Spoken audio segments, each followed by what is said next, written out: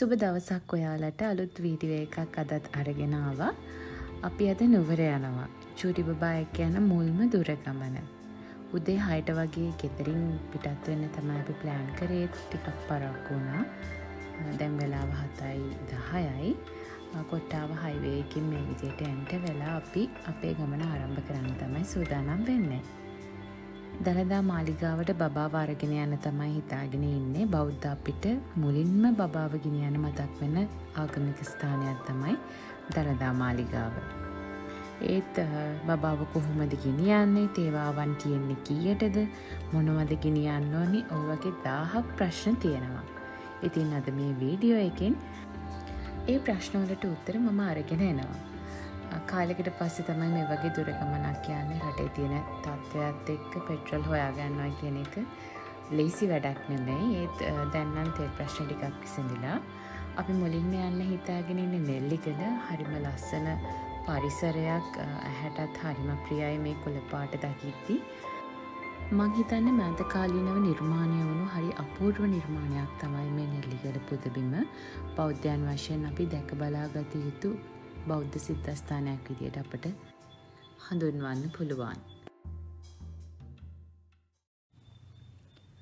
ලඳු කැලෑවක් සංරක්ෂණය කරමින් තමයි නෙල්ලිගල පුදබිම නිර්මාණය කරලා තියෙන්නේ.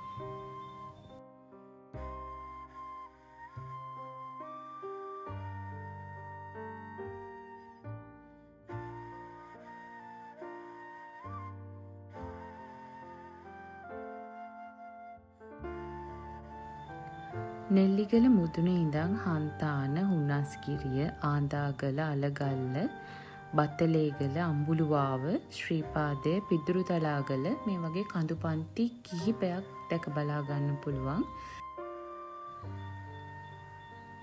සමන් දෙවියන් ශ්‍රීපදස්ථානයේ සිට අහසින් වැඩම කරන විදියට තමයි මේ පිළිමේ නිර්මාණය කරලා තියෙන්නේ මේ සම්බන්ධය ප්‍රතිමාව දකිද්දී හරිම විශේෂ හැඟීමක් දැනෙනවා ඇත්තට මේක වචනෙන් කියන්න බෑ ඔබත් දැක් බලා ගත යුතු පුදුමමක් විදියට මේ පින්බිම හඳුන්වන්න පුළුවන්.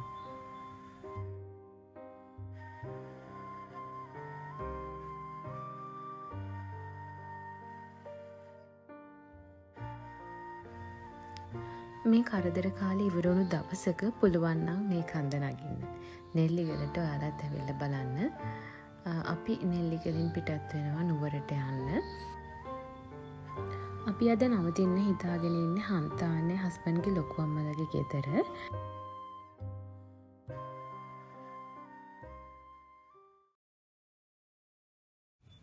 දළදා මාලිගාව උදේ නමය හමාරට තියෙන තේවාවට අපි කිරියාහාරත් සෝදානම් කරගෙන ගියා. දළදා වහන්සේට දරුවන් භාර කරද්දි මාස තුනට වැඩි අවුරුද්දට අඩු දරුවන් තමයි භාර කරන්නේ. දළදා මාලිගාවේ තේවාවට යද්දී අම්මා තාත්තා දරුවා වගේම අනිත් හැමෝමත් සුදු ඇඳුමෙන් සැරසිලා තමයි යන්න ඕනේ. විශේෂයෙන්ම අම්මල කලිසම් අඳින්න එපා. එහෙමුණොත් අම්මට බබාව අරගෙන දන්තධාතුන් වහන්සේ වැඩ සිටිනේ කුටිය ළඟට යන්න බැරි වෙනවා. දළදා මාලිගාවේ තේවාවන් සතිය දින හතේම තියෙන උදේ පහ හමාර උදේ නමය හමාර ඒ වගේම හවස හය හමාරට තියෙනවා. උදේ නමය හමාර තේවාවට තමයි දරුවන් අරගෙන යාම ගොඩාක් සුදුසු වෙන්නේ. ඔයාලට පේනවා අම්මා තාත්තා ඒ දෙන්නගෙන් එක්කෙනෙක් තමයි බබාව තියාගෙන ඉන්නේ. ඒ අය ධාතු මන්දිරයට අරගන්නවා. දළදා වහන්සේට අපි පූජ කරන්න අරගෙන යනවා නම් පිච්චමල් තමයි අපි ගන්න ඕනේ. පිච්චමල් වට්ටියක් සූදානම් කරගෙන නැත්නම් අපිට මාලිගාව ඉස්සරහින් උනත් ගන්න පුළුවන්.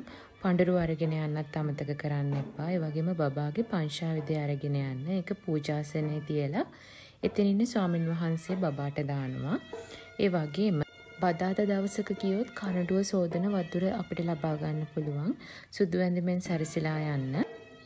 අපි ගියේ උදේ 9 හමාරට තියෙන තේවාවට එතන ඉන්න ස්වාමින් වහන්සේ දරුවගේ ඔලුවඩට පිරිත් නූල් දෙකක් පිච්චමල් ටිකක් තියෙනවා. ඉතින් ඒ ආගමික කටයුතු ඉවර කරලා අපි ගෙදර එන්න පිටත් වුණා. හිතාගෙන ඉන්න පෙරාදෙනිය උද්භිද උද්‍යානයට බොටැනිකල් ගාඩන් එකට යන්න. අපි බලමු මේ වීඩියෝ එකකින් ඒ විස්තරත්.